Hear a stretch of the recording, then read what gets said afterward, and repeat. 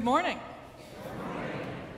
Happy Easter, everybody. Happy week after Easter.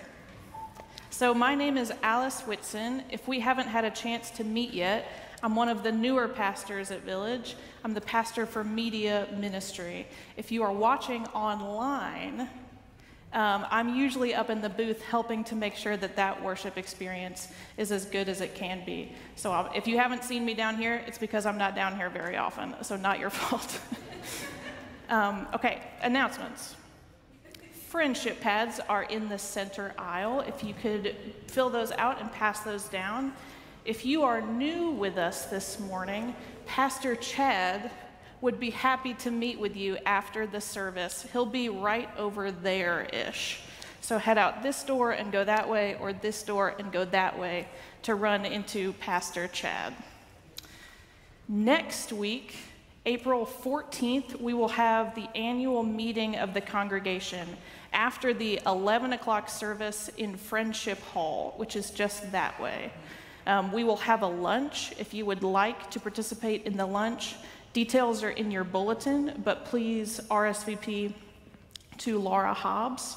Um, there will also be an annual meeting at our Antioch campus, but again, annual meeting this campus a week from today after the 11 o'clock service. So, I would highly encourage you to be on our email newsletter lists. If you are not on those lists, you can go to villagepres.org slash subscribe to join those lists. The reason why I mention that is because this past Tuesday, we got some sad news that came via that email that Reverend Sally Wright has submitted her resignation. I know. I love Pastor Sally. I know that she has had such a transformational effect on Village Church. She has been so wonderful to us. I know she has literally been in hospital rooms and in living rooms, in prayer on the phone. Sally has been a constant in prayer and pastoral leadership here at Village, and I'm really sad that she's not going to be in the building anymore. If you are sad like me, a month from today, on May 5th, Sally will be leading us in worship. She will be preaching for us, and that is our perfect moment to have Sally say goodbye to us and for us to say goodbye to Sally as well. After this worship service in Friendship Hall, Canby's Market, which is one of our mission partners, is going to be in Friendship Hall explaining to us a little bit more about their ministry and the work they do that is enabled by Village Church and our giving. So I'd encourage you after worship today to head on over to Friendship Hall to learn a little bit more. Okay, let's prepare our hearts and minds to worship God.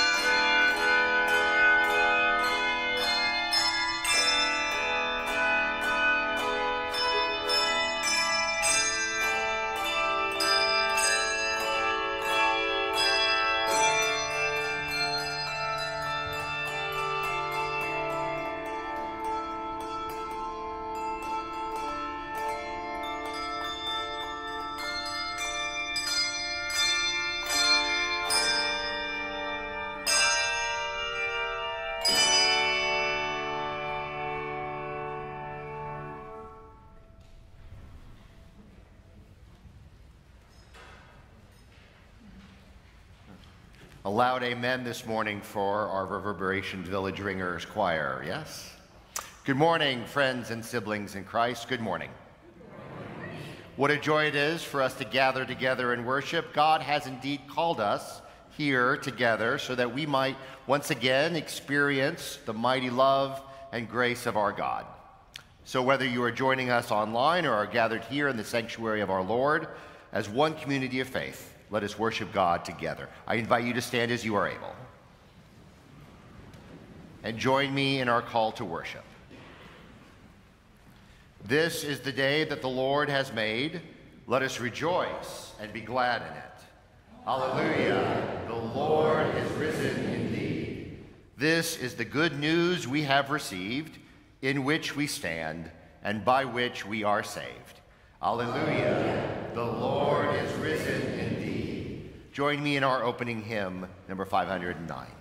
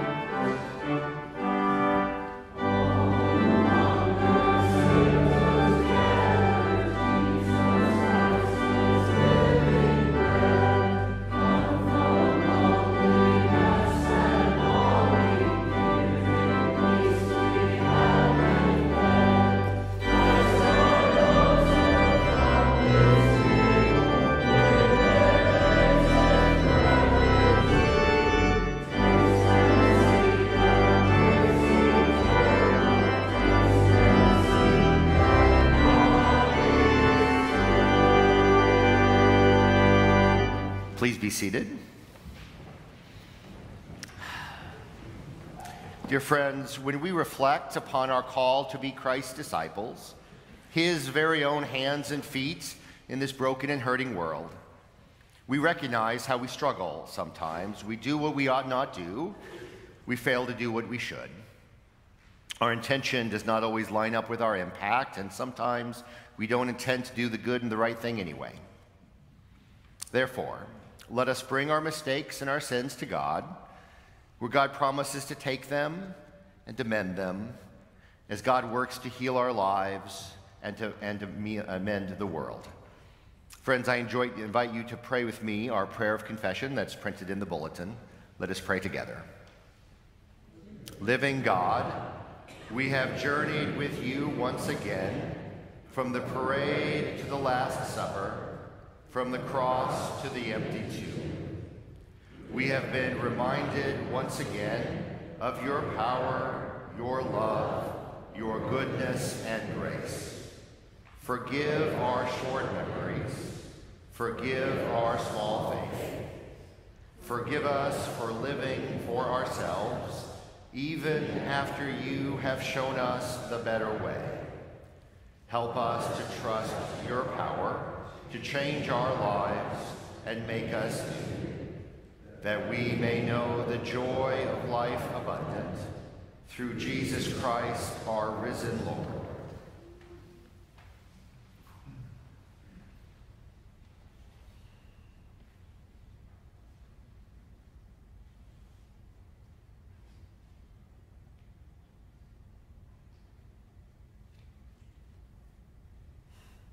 Oh, friends, hear the good news.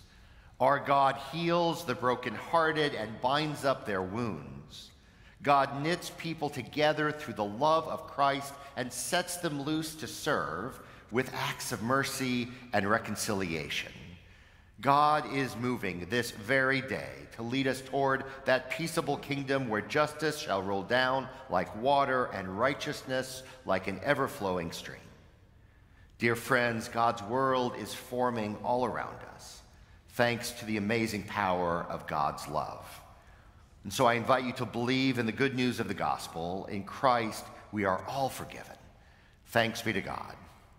Amen.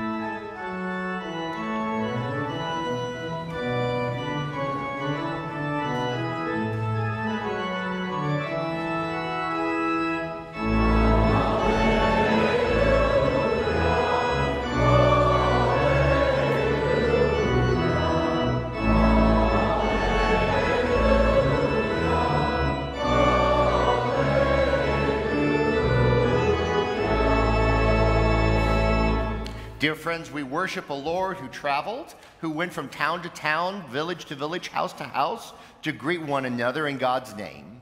Jesus went around and taught and healed. He uh, gathered people together in one place and he sent them out into the world two by two to love and to teach and to preach. Everywhere Christ went, he shared the peace of God. So when we gather every Sunday, one of our practices is to do as Christ did, to share the peace of Christ with others. And we practice that in this very space so that when we go outside of here, we can share God's peace as well. This day in this place, I invite you to share, greet one another with the peace of Christ. The peace of Christ be with you and also with you.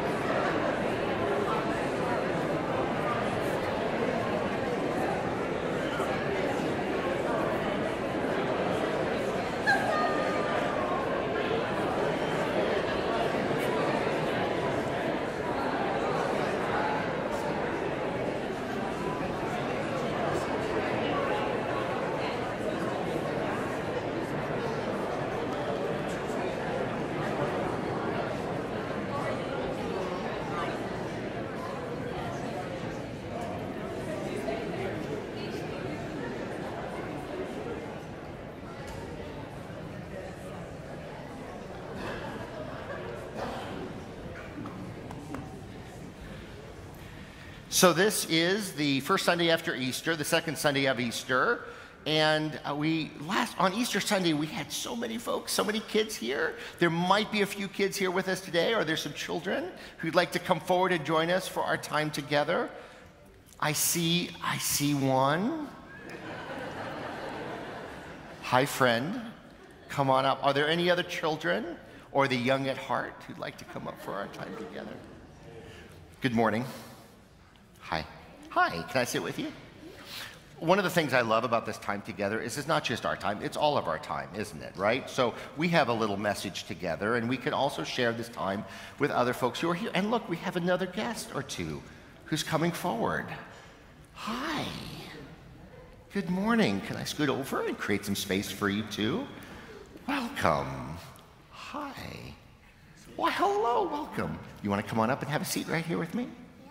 Yeah, great. Hello, thank you. Thank you. Please do. Hi, good morning.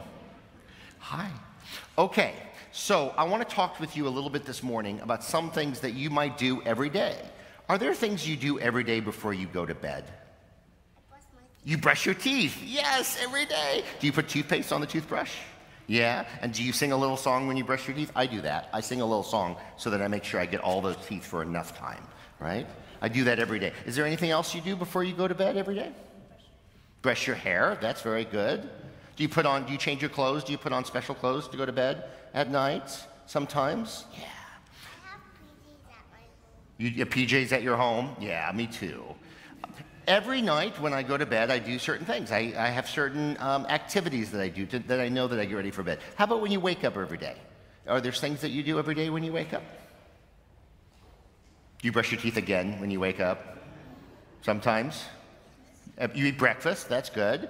Get, maybe if, you, if, it's a school day, you might get ready for school. Maybe if it's the weekend, you might get ready to go out and play, right? There are some things that we do all the time that help us remember that it's time for something important, like going to bed or getting up and getting ready for our day. When we gather for worship, there are things that we do every time. And that's one of the wonderful things about worship. We have this kind of rhythm, this kind of, um, kind of practice that we do every time we gather so that we know that what we're doing is important. One of the things we do at the beginning of every worship service is we call ourselves together. We think God calls us together, that God brings us together here in this space, sometimes online to connect with us through the internet, and that God is here in the middle of this time so that every time we get together, we offer words we call a call to worship, and that helps us remember what we're here for, what we're doing, that it's important. And so I want you to think when you're here on Sundays, all the things that we do every single time that you're here. One of them is this time for children, one of them is a call to worship. And these are the things that we do so that we know that we're doing, uh, we're all doing this stuff together, that we're doing the things that we're supposed to be doing. Can you pray with me? Let's pray. Okay? Dear God, Thank you for gathering us here.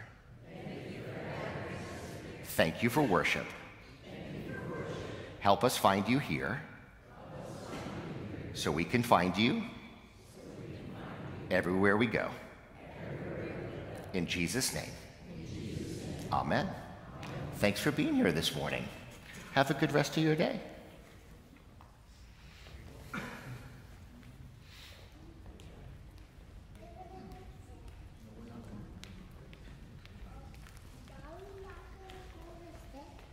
Dear friends, if you have eagle eyes, you'll notice that I am not Miles. Miles is supposed to read our scripture reading this morning. He is one of the youth of our congregation, and he really wanted to be here today. He's not feeling very well today, so I hope that it's okay that in his stead I lead uh, the reading of our scripture. Please, before we do so, I invite you to join me in a word of prayer. Let us pray. Gracious God, as we read and listen to your word today, remind us that you are speaking to us. Center us in all we hear, challenge us to do more than listen, and inspire us to act on your word as we go out into your beloved word, world. In Christ's name we pray. Amen. Listen to this reading from the Psalms, Psalm 34. I will bless the Lord at all times. God's praise shall continually be in my mouth. My soul makes its boast in the Lord. Let the humble hear and be glad. Oh, magnify the Lord with me, and let us exalt God's name together. I sought the Lord, and the Lord answered me and delivered me from all my fears. Look to God and be radiant, so your faces shall never be ashamed. This poor soul cried and was heard by the Lord and was saved from every trouble. The angel of the Lord encamps those who fear the Lord and delivers them. O taste and see that the Lord is good. Happy are those who take refuge in the Lord. O fear the Lord, you God's holy ones. For those who fear God have no want.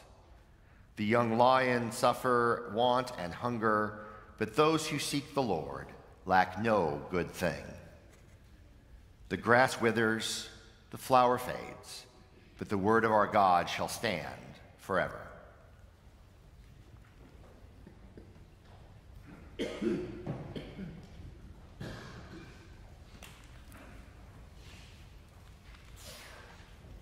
Amen. So, one of my favorite places in the world is the J. Mosley Tabernacle at Ferncliff Camp and Conference Center outside Little Rock, Arkansas. My wife, Juliana, grew up going to Ferncliff Camp, and ever since I have known her, Ferncliff has become an important part of my life as well. Every summer, she and I go for a week to serve as chaplains for the summer camp there. We have the privilege and joy to meet and spend the week with 25 or so counselors and 100 or so campers.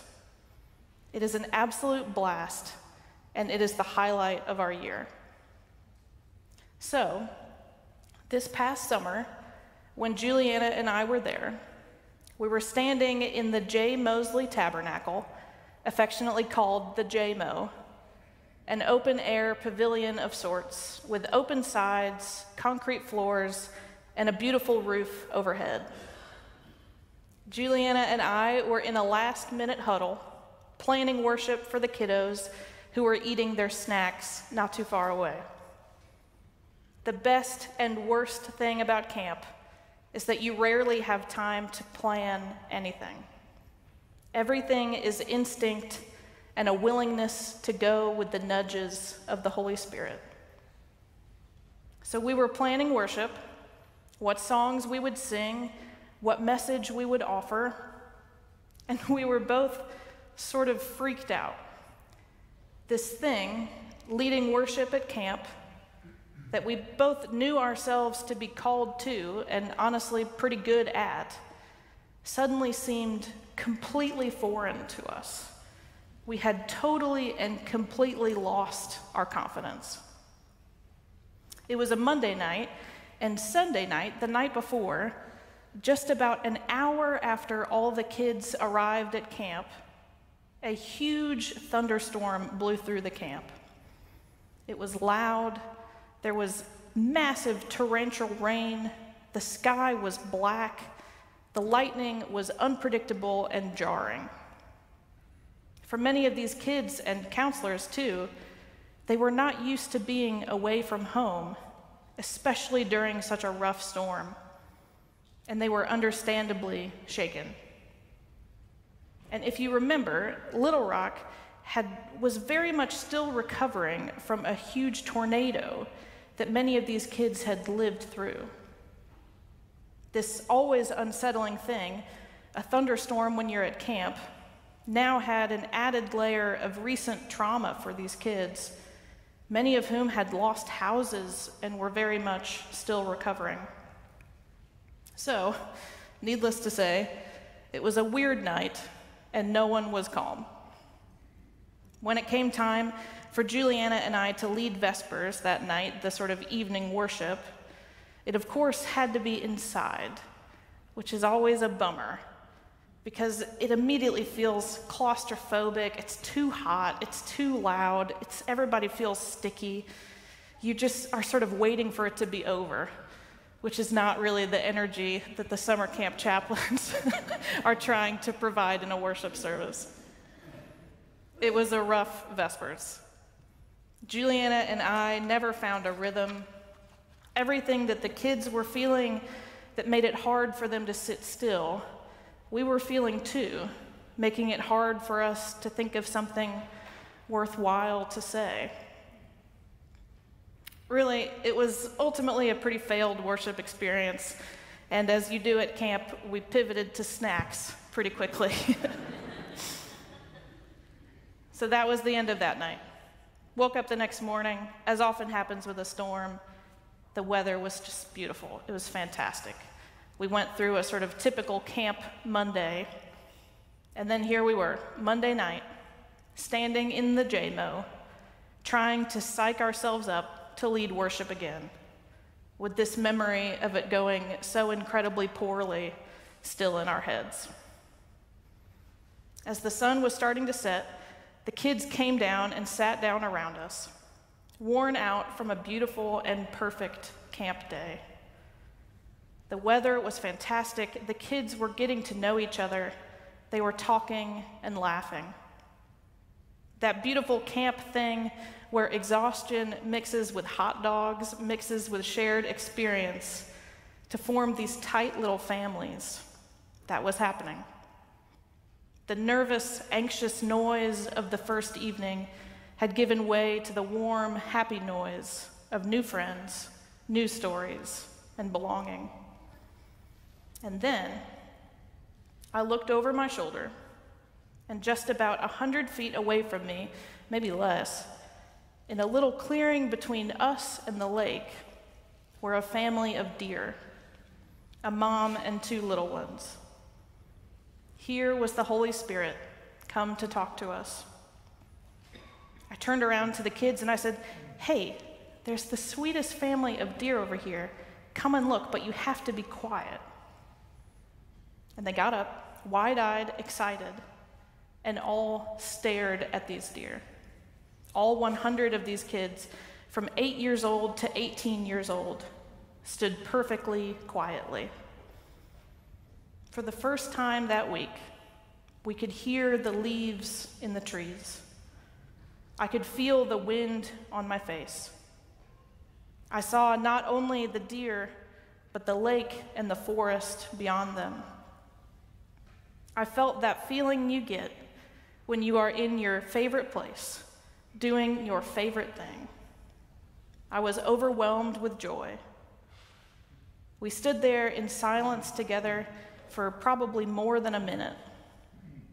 I had my guitar on me, and the chords for 10,000 Reasons came to my heart.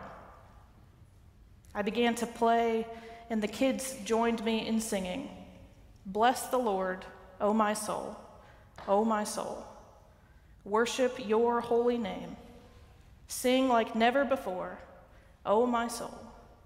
I will worship your holy name. The kids made their way back inside and sat or laid on the cool concrete.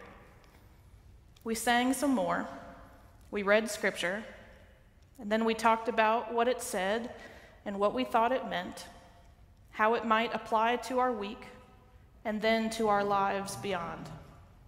We prayed, we passed the peace. Those deer called us into worship that night. Oh, magnify the Lord with me, the psalmist says, and let us exalt God's name together. So, we are beginning a new worship series this morning called The Ways We Worship. Like Chad mentioned, we will, we will go slowly and take a look at each of the elements of a typical worship service. And we know the big players in worship the music, the scripture, the sermon, the peace, the benediction. But this morning, our task is to consider the humble call to worship.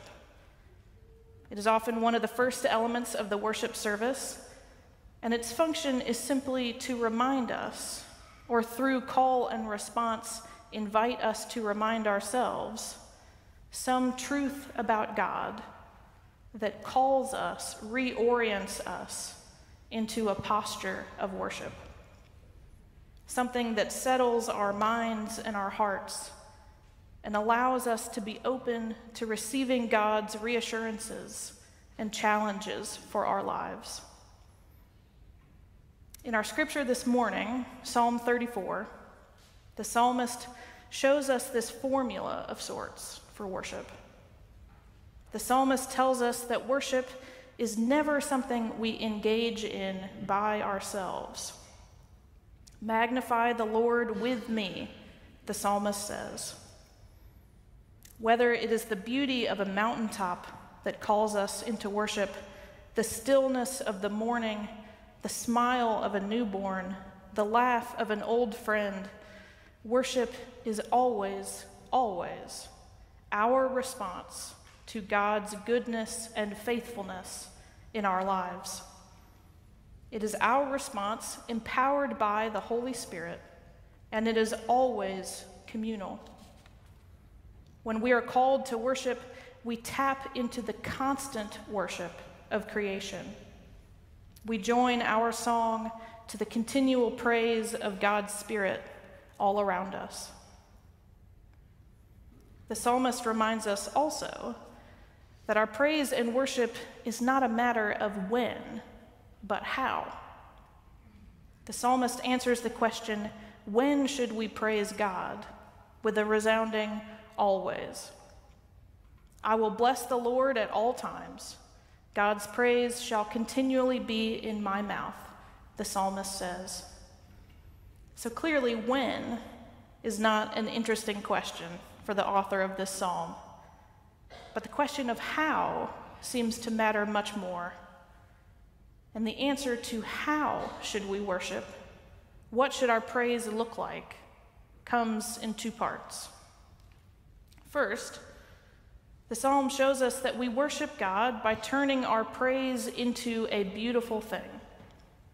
Look to God and be radiant, says the psalmist. And we know this to be true. Since the dawn of time, our adoration of the divine has inspired humanity's most beautiful works songs, hymns, poetry, paintings, dance. Something about God's beauty inspires our own, requires our own, even. Now, I'm not much of a singer, and I've never been able to draw or paint very well. Poetry has never really interested me, and I've never even seriously attempted dance. but whenever I am called to worship, whenever I am overwhelmed by God's goodness in my life and inspired to respond in praise, I find that whatever I am doing, I sit up a little straighter, I show a little more kindness, I put in a little more effort, I double check, I tidy up, I give the best of myself to whatever it is that I am doing. Because I am doing it for and in light of God and God's steadfast love. And I think God finds that beautiful. I'm reminded here at Village, our deacons and ushers and greeters, their smiles, their handshakes, their attention to detail, their commitment to their task is beautiful to God. So that's the first thing. The psalm shows us that our praise of God, when we are called into worship, that worship should be beautiful. And second, the psalm instructs us to make special effort to let our praise for God's goodness be heard by those around us, specifically those who are in need of hope. The psalmist instructs us to make our boast in the Lord and let the humble hear and be glad. The word that's translated humble here could also be translated the poor, or the afflicted, the weak, the suffering. We know there are places in this world, and there are times in all of our lives when we need the stories of others, when we need to hear the praise of others when we need to gather with others and let their worship carry us until worship genuinely comes from our hearts again, like we know it will in time. Our praise is not just for us, the psalmist reminds us, and it's not even just for God. It is also an inspiration, a hope, an anchor of truth for our neighbors and for those around us who need to hear it most. So there's our formula.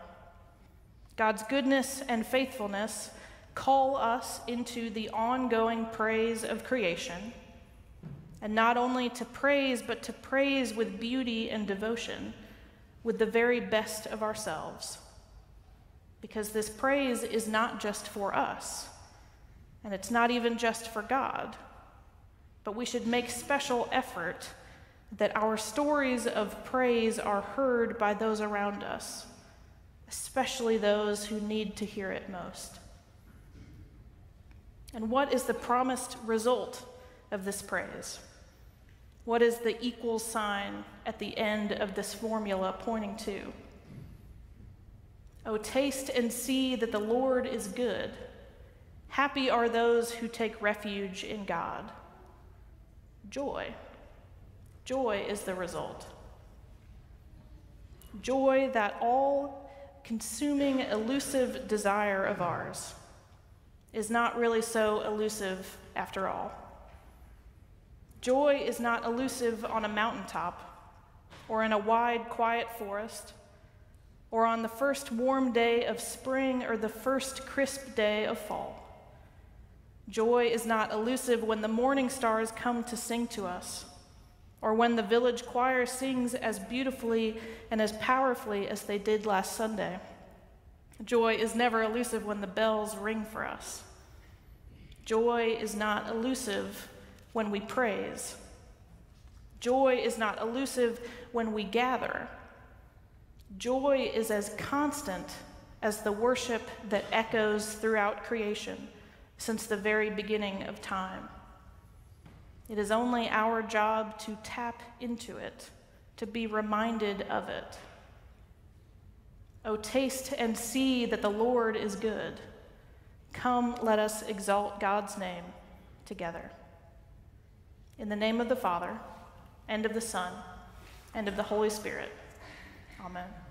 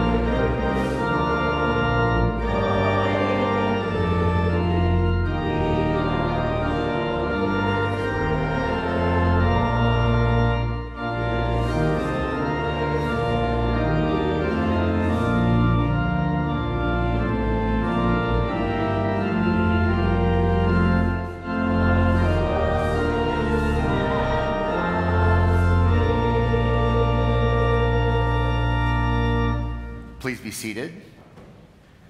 Friends, this worship service of ours always includes a moment of thanksgiving and gratitude. This is our chance, our opportunity to respond to God's many gifts in our lives, to recognize that all that we have comes from God, and that we are invited, encouraged to joyfully invest our resources in others for the common good. And so, in gratitude for all that God has done in our lives, let us return back a portion for God's good work I invite the ushers to come forward to collect our morning offering.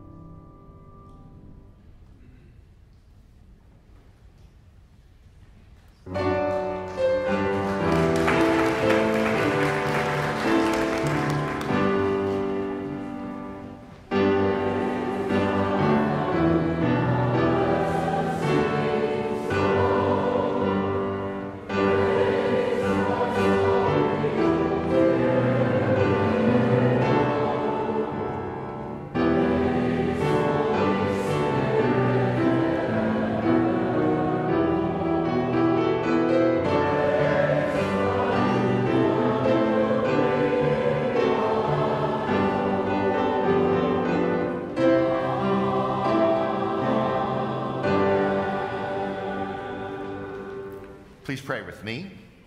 Thank you, God of love, for the love and purpose you give this congregation. We are grateful for the generosity aroused in us by Christ's presence in our lives. May our gifts and our giving represent a new spirit of sharing among us for the sake of all your children everywhere. In the name of Christ we pray. Amen. Please be seated.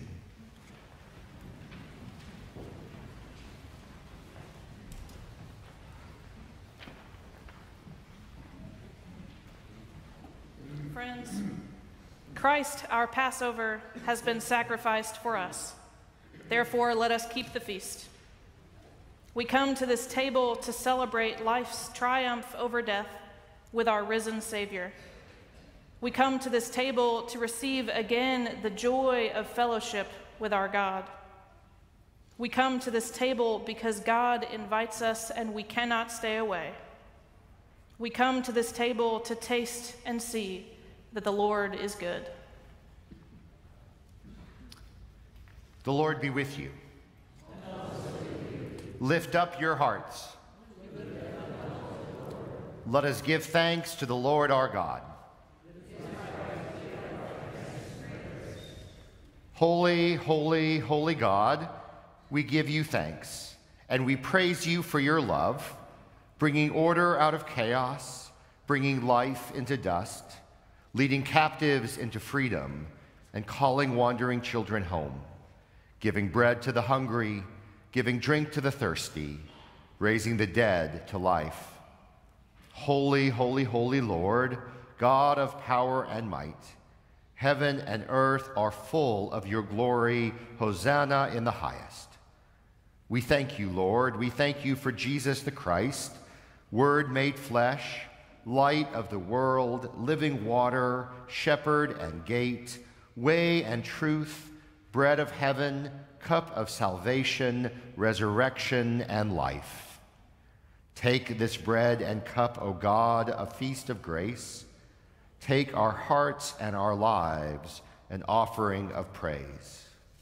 Spirit, come, come and live in us, in this bread, in this cup, in your people. One in the body, one in the blood, one with Christ, one in ministry, in this place, in every place, in this world, in the world to come. Blessing and glory, wisdom and thanksgiving, honor and power are yours, now and forever. We say together today this prayer as we wrap up our thanksgiving and our praise, this prayer that you taught your disciples to pray by saying, Our Father, who art in heaven, hallowed be thy name. Thy kingdom come, thy will be done, on earth as it is in heaven. Give us this day our daily bread, and forgive us our debt as we forgive our debtors.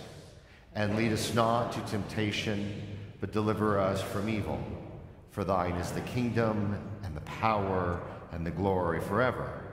Amen. Amen. Remember with me.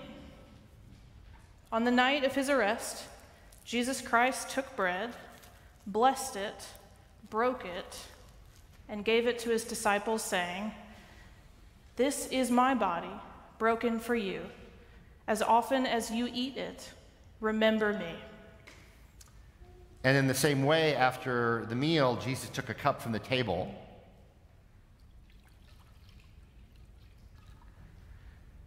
And he gave thanks to God for it, and he gave it to them, saying, This cup is the new cup sealed in my blood, given for you, for all of you.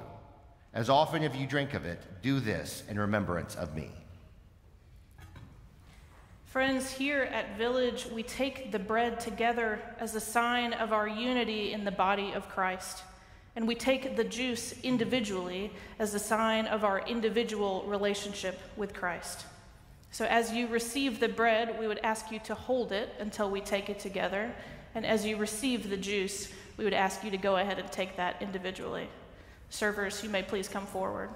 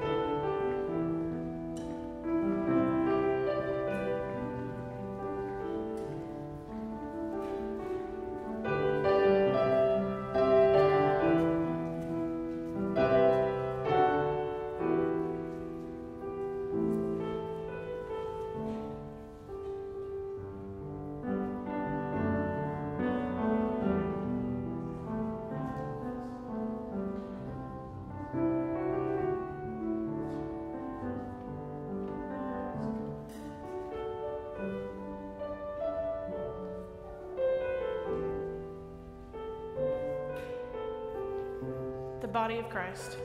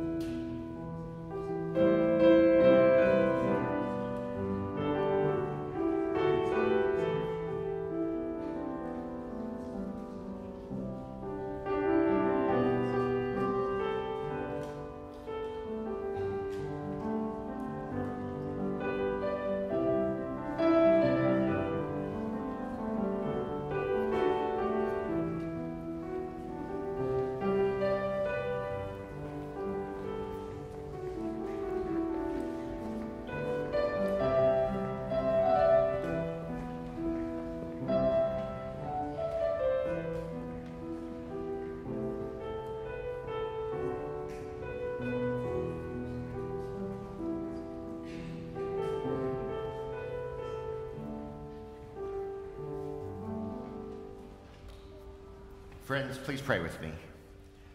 Gracious God, thank you for this meal shared in the Spirit with Christ. who gives us love and peace eternal, we pledge ourselves to serve you even as Christ has served us, as we make this prayer in Christ's holy name. Amen. Friends, before we begin uh, to sing our closing hymn, uh, it is a joyful thing that we do every Communion Sunday to take the elements from here out to the members of our community who are unable to be here this morning. We have some volunteers here today to come and take these baskets that are in front of our communion table to 38 members of our congregation who will be receiving communion elements today. So during our hymn, I invite those uh, home communion servers to please come forward and grab your baskets. Now let's all sing our uh, closing hymn together.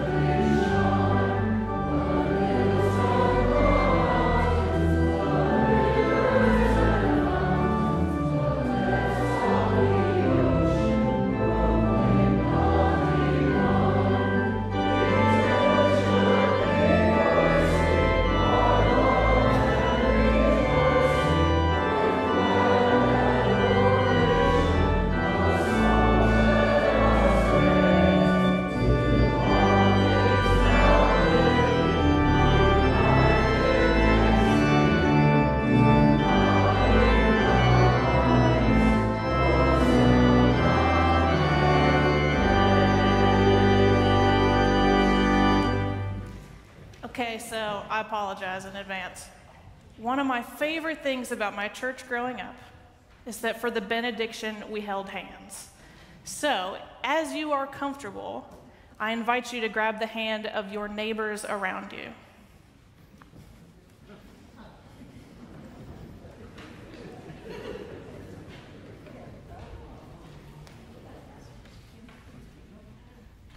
Friends, I can't say it any better than the hymn we too should be voicing our love and rejoicing. So, as you go from this place this week, I invite you to allow yourself to be called into worship, however that happens for you. Because I promise you, the psalmist promises you that that is where joy lives. Now, friends, go out to love and serve the Lord. Amen.